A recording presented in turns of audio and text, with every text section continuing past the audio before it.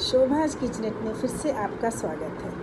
अगर आप ढूंढ रहे हैं कोई बेकरी तो शोभाज किचनेट लेकर आ रहा है आपके लिए पाइनएप्पल पेस्ट्री। तो फिर आपको कहीं जाने की ज़रूरत नहीं है। चलिए देखते हैं, इसे बनाने के लिए हमें क्या क्या इंग्रेडिएंट्स चाहिए।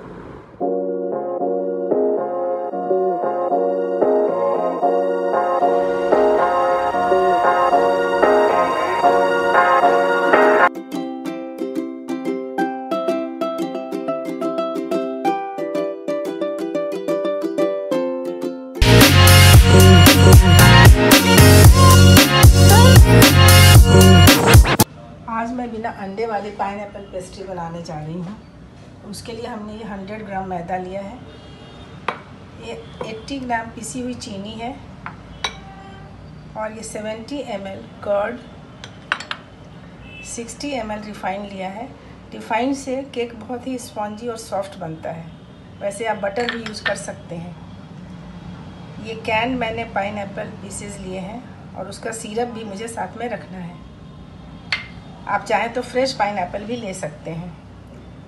और ये विप्ड क्रीम है। ये मैंने दो साइज़ के स्पून रखे हैं। ये फुल साइज़ स्पून है, जिसमें मैंने बेकिंग पाउडर डाला है। और ये हाफ़ स्पून है, जिसमें मैंने बेकिंग सोडा डाला है। तो चलिए अब बनाना स्टार्ट करते हैं।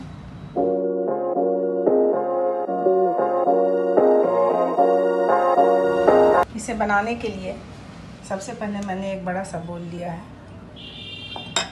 इसमें ये कर्ड डाल देंगे। और कर्ड के साथ ही मैं इसमें चीनी डाल दूँगी।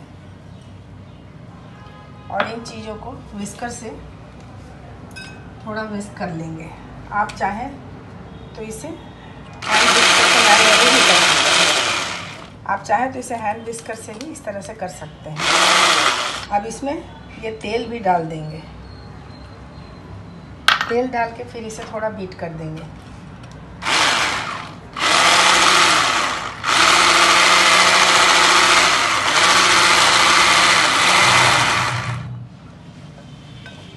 ये देखिए, इसे अब हैंड विस्कर से थोड़ा इस तरह से मिला देंगे। अब इसमें मैं एक चम्मच बेकिंग पाउडर डालूँगी। एक चम्मच बेकिंग पाउडर और हाफ़ स्पून बेकिंग सोडा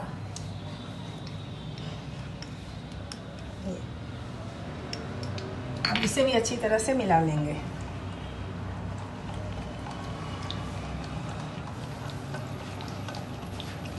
इसे करीब एक मिनट इस तरह से फिट फेंट लेंगे। इस तरह से घोल लिया है। अब इसमें धीरे धीरे करके सारे मैदे को डालेंगे।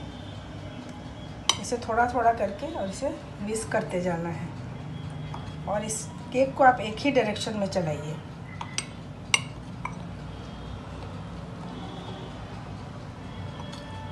इस तरह से करके इसमें धीरे धीरे सारा मैदा डाल देंगे। मैंने डाल दिए।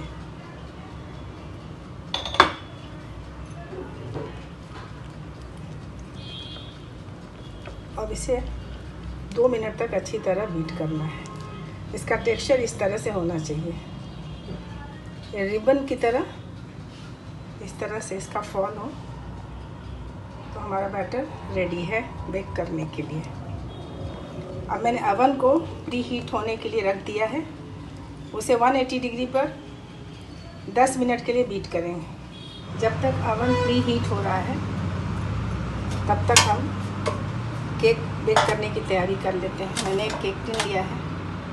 इसे नीचे की ओर थोड़ा सा मैंने इसकी घी या तेल से आप इसकी ग्रीजिंग कर लीजिए।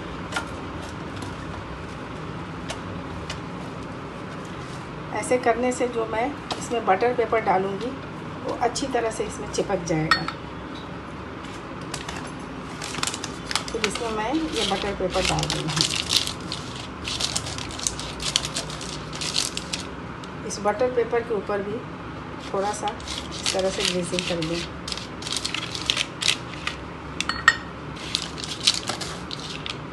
अब इसके ऊपर जो केक का बैटर है, वो मैं डालूँगी।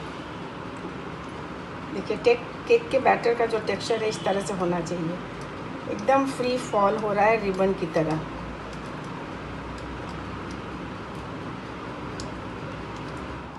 ये देखिए केक टिन को रख दिया इसे थोड़ा इस तरह से टैप कर दें ताकि इसके अंदर जो बबल्स हैं, वो निकल जाएगा। फिर केक अच्छी तरह से राइज होगा। चलिए, अब हमारा अवन भी प्री हीट हो चुका है। इसे अवन में डाल दें ये देखिए, हमारा केक बन के तैयार है। अब इसमें एक तिनका डाल के देखेंगे। देखिए, कहीं भी डालिए एकदम क्लीन निकल रहा है। ये केक अच्छी तरह से बेक हो चुका है। और इसने अपने साइड भी छोड़ दिए हैं। ये देखिए। अब इसे थोड़ी देर ठंडा होने देंगे।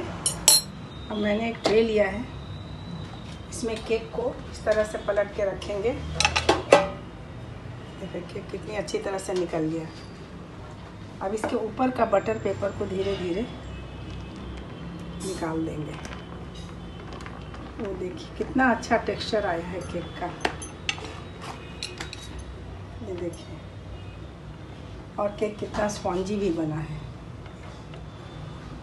अब व्हीप क्रीम को बीट करने के लिए मैंने एक बड़ा सा बोल लिया है। इसमें मैंने करीब एक कप व्हीप क्रीम लिया है। इसे इसमें डाल देंगे।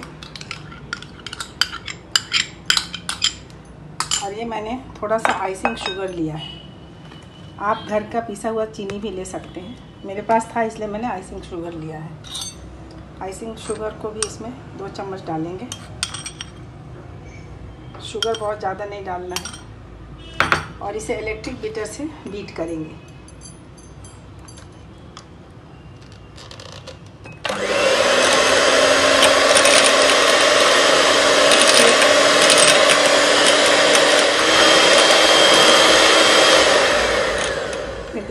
मैंने इसे दो से ढाई मिनट तक बीट किया और ये किस तरह से? फोमी क्रीमी बन गया है। आप इसे चम्मच से लेकर अगर गिराएँगे तो भी ये नहीं गिरेगा। इस तरह का टेक्सचर आने तक हमें इसे बीट करना है। ये हमारा केक क्रीम रेडी है। तो अब इसे हम केक के बीच में फिल करेंगे। अब इस केक को मैं बीच से हाफ़ काटूँगी इसे। इसे बीच से हाफ़ कर देंगे।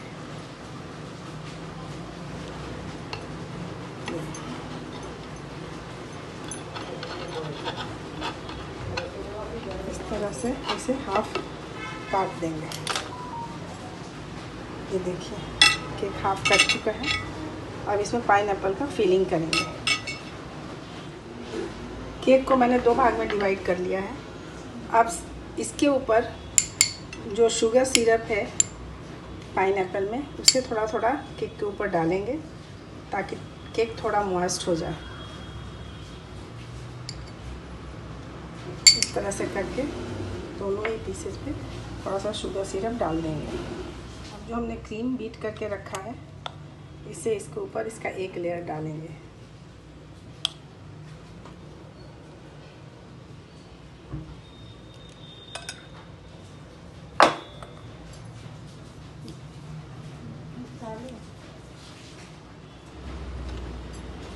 ये मैंने एक लेयर विप्ड क्रीम का डाल दिया। अब इसमें पाइन एप्पल के पीसेस को इस तरह से रख देंगे।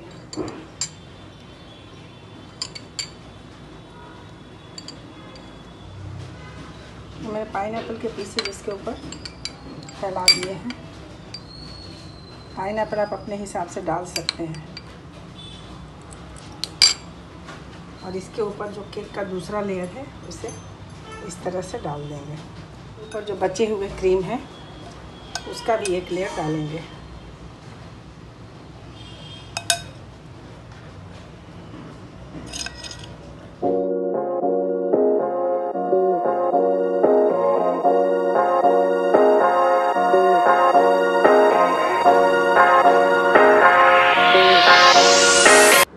तो देखा आपने?